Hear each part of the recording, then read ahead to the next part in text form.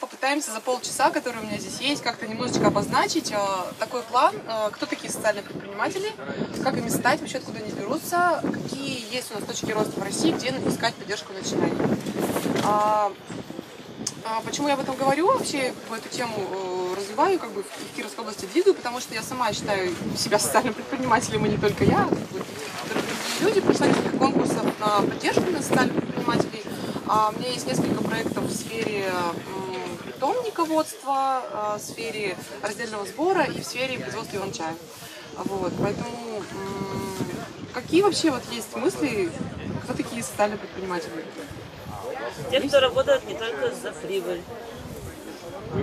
А А, вот ради у молодых людей какие-нибудь есть э, делаю размышления? Может быть, это те люди, которые вместо традиционного денежного капитала используют социальный капитал Так, в а какие? качестве единицы взаиморасчета. Ну, я условно. Мгм. Ну, всегда просто очень интересно, какие ассоциации вот с этим словосочетанием, потому что у всех на самом я деле. к этому веду. Какой-то особенно льготный вид бизнеса с какими-то преференциями, наверняка апеллирующий к ценностям особой группы населения.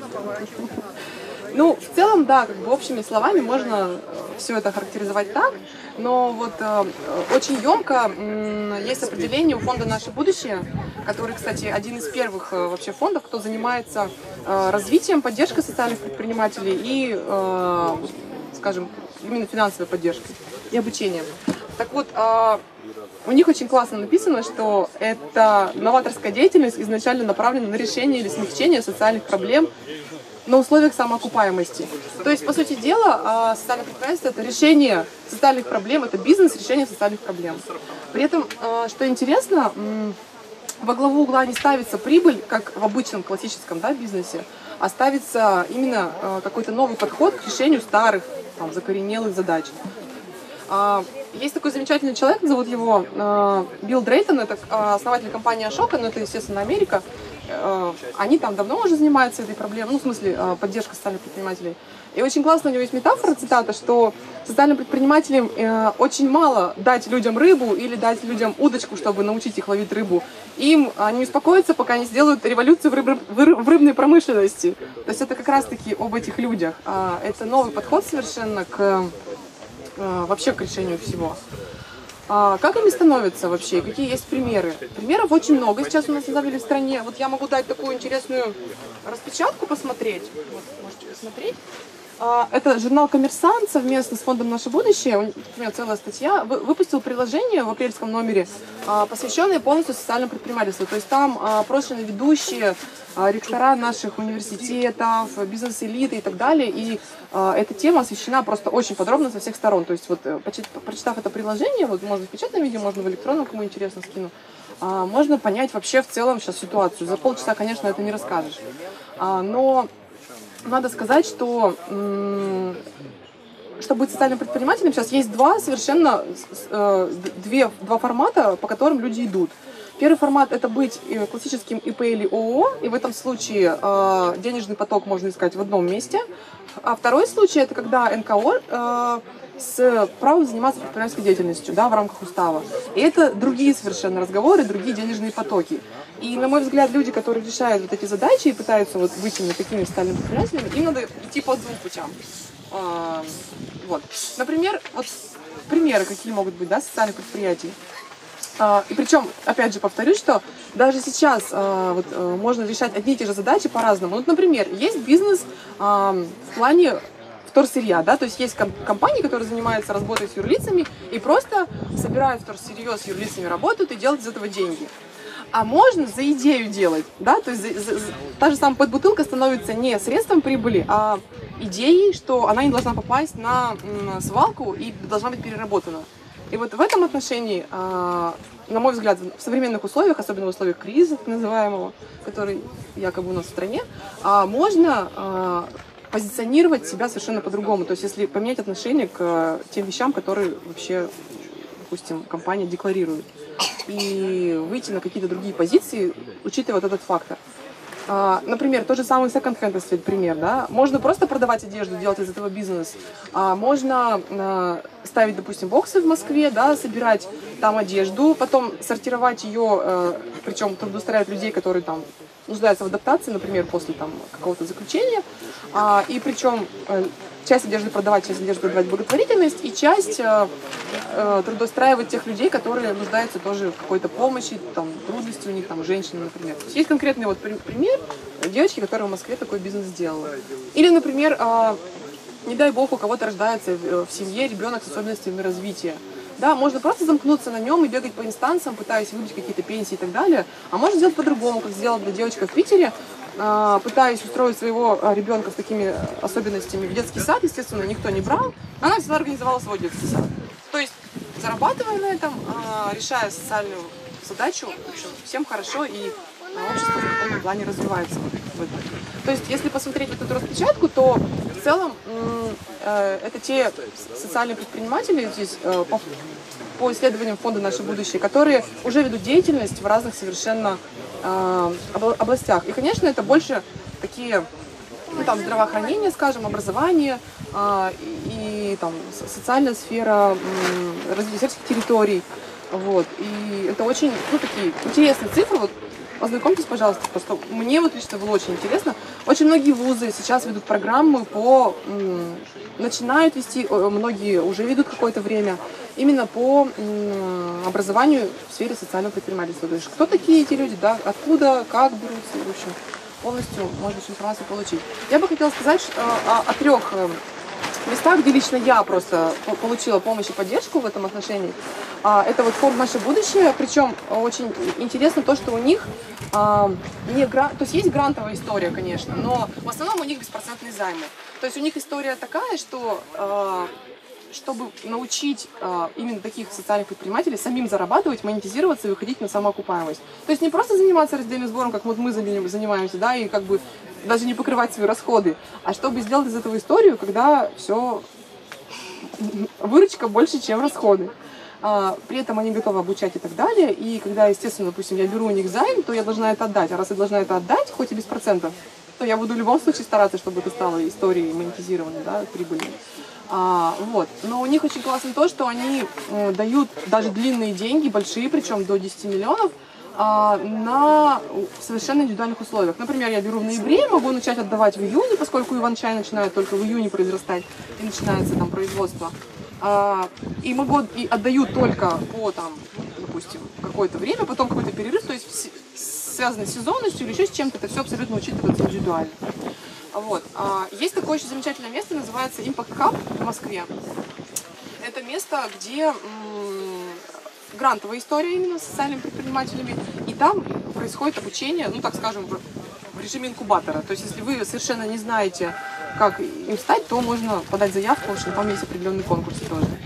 И хотелось бы еще сказать про гражданское лидерство, потому что, коли в теме заявлено, и, в общем-то, это одно из другого проистекает, очень часто м, социальными предпринимателями становятся те люди, которым не все равно, что происходит в нашем обществе, которые хотят что-то поменять, которые хотят вообще как-то изменить и, как я уже сказала, сделать революцию в каких-то там своих областях, которые им интересны. Мне, например, интересно сделать зеленую революцию, вот, как бы я всегда говорю, вот, в сфере экологии а, и вообще какого-то экосознания. Есть люди, которые там в своей сфере. Поэтому а, а, гражданское лидерство это как раз та позиция, на мой взгляд, на которую, как бы та платформа, которую стоит тоже развивать. То есть предпринимательство это одна платформа, и, как скажем, одни истории, где можно получать об- обучение, информацию, связи, там, средства и так далее. А есть платформы, которые конкретно занимаются развитием гражданского лидерства. Например, есть такая интересная школа, а, так и называется школа гражданского лидерства в Москве, которую я недавно закончила, тоже у них две сессии было. Там совершенно потрясающая программа. То есть там обычные физические люди, которые хотят каких-то перемен в обществе, могут подать заявку и совершенно бесплатно. Они оплачивают питание, проживание, вообще супер гостиница. У них там, ну, у них у самих на это грант. Вот. А, получить совершенно потрясающие знания из первых уст, причем из первых общественных деятелей, которые в нашей стране передовые, да, в Москве еще в других городах. Они их приглашают как спикеров. А, получить информацию, как стать гражданским лидером и как, допустим, а, заниматься тем же фандрайзингом, да, это для НКО будет очень интересно, тем же самым корпоративным донорством для НКО. То есть все, что связано со сферой некоммерческой организации, вот именно вот школа гражданского лидерства очень хорошо а, поддерживает, развивает и помогает. Вот. Вот как бы очень коротко, по-моему, я даже еще меньше, чем в полчаса уложилась. Давайте, может быть, мы как-то подискутируем, у кого какие есть мнения. Вообще просто очень интересно, потому что очень а, новая, ну, на мой взгляд, вообще у нас в стране она совершенно недавно тема развивается. И очень интересно узнать а, мнение людей. а, Как вы считаете, стоит ли вообще заниматься этим вопросом, важно ли это дело и а, нужны ли социальные предприниматели? Вот давайте как Вот вопрос только один. э, Как бы я все применяю к своему малому городу, вообще к малым э, населенным пунктам, где ресурсы слишком ограничены, чтобы даже э, основывать юридическое лицо, если под этим не подразумевается прибыль и работа персонала за деньги, потому что там уже э, нет возможности на постоянной основе постоянно иметь людей, готовых работать бесплатно. Разовая акция еще может быть, и то не факт. Э, На постоянно это исключено. А задач как раз больше всего именно в таких точках, которые не- недофинансированы в населенные пункты. То есть э, говорю, про- проблема у нас самая такая тяжелая инфраструктурная, то есть это там и дорога, и коммуникации, и мусор, который, да? А ресурсов минимум. Вот э, как применить здесь э, социальное предпринимательство с учетом еще и э, местного менталитета, который подразумевает э, большей частью. То есть если человек получает прибыль, то он все, он хапуга вообще там и так далее. То есть Ну, я- очень, я поняла очень редко вопрос. Относятся к предпринимателю однозначно положительно, что бы он там ни делал. Все равно это Давайте я отвечу просто конкретным примером, да, потому что, м, ну, во-первых, про свой иван-чай я могу попозднее, кому интересно, рассказать, потому что как раз из этой истории, да, что мы в малом населенном пункте это делаем. Я расскажу более яркий пример, потому что у нас пока не совсем большой масштаб, а есть более масштабные вещи. Девочка, э, э, девочка, Гузаль, значит, она сама родом с Свердловской области, у нее у папы пасека в деревне. Деревня как раз из той сферы, когда нет совершенно народа, живут одни бабульки, все плохо, все загибается, средств нет, чтобы там детскую площадку построить то же самое. А, что она делает? Значит, мед, как известно, сейчас большая конкуренция, там много пасечников, и как бы если просто, э, как правило, запаковывать баноч- в баночки этот самый мед и продавать, в общем, как все, неинтересно уже. Значит, э, это вопрос технологий, на мой взгляд. То есть она что делает? Она берет, узнает технологию, как из меда делать крем по определенной технологии, э, едет э, в Европу, закупает станок для производства вот этого крема, добавляет э, туда, в это производство ягодки, и получается так называемый крем с ягодками, из меда причем. Он не такой сладкий, он более вкусный, но, что потрясающая самая история, что работают у нее бабушки, вот, то есть те, которые в этой деревне живут, Минуточку, на, на какой, на какие средства она закупает станок? Вот. Тут как раз вопрос такой. На мой взгляд, а, любое развитие в любой территории должно строиться как раз-таки на лидерах, на тех людях, которым не все равно. То есть она закупает на грантовые средства. То есть она подает грант как э, там физлицо, грубо Она говоря. физ- как физлицо. Да, да, да, да. Ну вот я, например, тоже вывела грант недавно как физлицо, достаточно очень крупный. Вот. А, как физлицо, и у них эта история очень долго как просто инициативная группа, которая делает что-то. То есть даже не как там ИП или ООО. Естественно, когда у них объемы выросли, они сделали сейчас из этого юрлицо и сделали из этого коммерческую компанию, да. Но эти люди, эти бабушки, они сначала там фасовали определенное количество, да, этих баночек меда. Ягоды, причем же они же не собирают, да. То есть это вот э, к вопросу локальной экономики. То есть вот я считаю, что любую локальную экономику на территории можно сделать, используя местные ресурсы. Просто посмотреть вокруг, а что здесь есть и что это можно. Причем ресурсы плюс технологии. То есть просто мед продавать уже никому не интересно, а продавать мед вот в таком варианте, да, и это должны а, об этом подумать те люди, которые как раз хотят развивать эту территорию. То есть какие есть интересные технологии и как мы можем эти ресурсы использовать.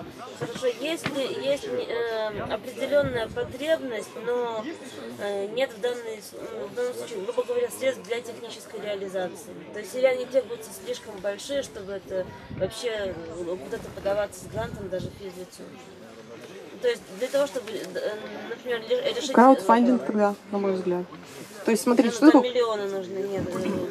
э, А на крауд- краудфандинг- на краудфандинге собирать миллионы при, при правильном построении. Нет, конечно, то есть э, проблемы много, да, и как бы вот как раз развитие мал- малых территорий, вот это тоже, кстати, моя тема. А, Тут вообще э, есть несколько моделей, как можно это развивать. Мы можем, в принципе, я думаю, что просто из этих малых территорий, похоже, интересно только одному человеку, можем с вами индивидуально поговорить, да, чтобы, да, здесь не, об этом не говорить. Но Вообще, в целом, а, вот если кому интересно, тоже могу про краудфандинг несколько слов сказать. Да, вообще все в курсе, что это такое? Ну, кто-то в курсе, кто-то нет. Лучше. Да, краудфандинг это э, вообще с английского, если перевести, э, э, поиск средств с помощью толпы. Ну, то есть крауд, толпа, фандинг, да, найти. То есть это э, скидываются все люди, грубо говоря, на какую-то, на решение какой-то задачи. Для этого есть, существуют платформы краудфандинговые в России. У нас Планета.ру, например, Бумстартер, там, это уже э, западная больше платформа, где создается проект, э, вы пишете, например, нам надо там столько-то денег, ну то-то, то-то, ну там на развитие чего-то. Ну, например, последнее, яркое, кстати говоря, э, мероприятие, которое очень быстро нашло, естественно, с- с- с- деньги. Там Борис Гребенщиков выпускал новый альбом, и ему нужны были деньги на выпуск. Он за три дня собрал несколько миллионов рублей. То есть люди с разных концов страны, там кто сколько мог, э, кинули, да, и все, и собрали. То есть вот такой вот сообща вещи, и причем э, собирать миллионы на самом деле. Это абсолютно реально. Просто нужно понимать механизмы, ну это, естественно, нужно просто зайти а, на, на сайт, там, изучить все, у них куча видео, роликов, как. Вот. В общем, я к тому, что хочу сказать, просто за полчаса мало что скажешь, но в целом хочу сказать, что а, пути и решения любой абсолютно проблемы и задачи, я бы сказала, не проблемы, а задачи есть у нас в стране. И, и если в стране нет, нужно искать за ее пределами. Потому что вот я, например, выиграла хороший грант за ее пределами. За пределами нашей страны. У вас Вот. были проблемы с получением этого гранта? Знаете, нет. финанси- Финансирование из-за рубежа, все дела. Нет, потому что я же как физлицо, мне, мне как физлицу перечислили, поэтому вообще не было проблем никаких. То есть к иностранным агентам не, не причислили. А, но так как я, как сказать, без юрлица, то агентом меня уже не причислишь. Вот. Вот, давайте какие-то, может, еще вопросы, кому интересно. Может написать э, хотя бы название там сайтов, я не знаю, или вам все равно некуда записывать и Знаете, нечем. какой у меня вопрос? Вот вы привели интересный пример с детским садом, э, то, что э, не было детского сада для детей с ограниченными возможностями здоровья, и человек сам организует частный детский сад, и, соответственно, он востребован, туда ходят люди. И вот получается, э, э, чем является вот этот социальный этот бизнес э, и его взаимоотношения с государством. Он подменяет некоторые государственные функции, потому что, по идее, это, это была задача государства создать, но оно не создало. То есть чиновникам удобно иметь вот таких социальных предпринимателей, чтобы не решать какие-то государственные задачи, а говорить, ну там раз появилось, они сами там все сделают. Э, вот э, как здесь выстраиваются взаимоотношения, на ваш А, взгляд? мгм, Вопрос очень классный на самом деле, и спасибо, что вы задали его, потому что я забыла об этом сказать, что да, государству очень выгодно иметь таких социальных предпринимателей, потому что, как правило, эти люди решают за свой счет, между прочим, те проблемы, которые, по сути, должно решать государство. То есть возьмем ту же самую сферу обращения, да, ТБО, да, взять. Вообще-то, а, ну, к сентябрю месяцу у нас должна быть утверждена схема территориального обращения с отходами. И вообще-то а, очень, ну, как бы, в общем, все хотят, чтобы это была, скажем, переработка. Но, естественно, у нас по определенным причинам в области не может случиться так, что все, весь мусор будет перерабатываться. Так вот, маленькие предприниматели берут на себя эту роль в качестве того, чтобы собирать, перерабатывать, накапливать, отвозить. То же самое с садиками, да. Вообще-то А государство должно делать такие садики, потому что что эти люди, они, дети это не люди, что ли? То есть, по сути, да, если мы говорим о демократии, демократии и равных возможностях для всех, то должны быть такие садики давным-давно уже в нашей стране, их нет. Вот. Эти люди берут на себя ответственность а, и делают эти вещи за свой счет, на свой причем страх и риск, потому что ведь немногие люди, это ведь там у них интересная система, что на одного ребенка три преподавателя, то есть не на троих один, а на одного ребенка три. И это очень затратная вещь на самом деле. И немногие, конечно, могут себе это позволить, но тем не менее есть люди, которые могут, но если бы не было такого садика, скажем, им бы некуда было пойти.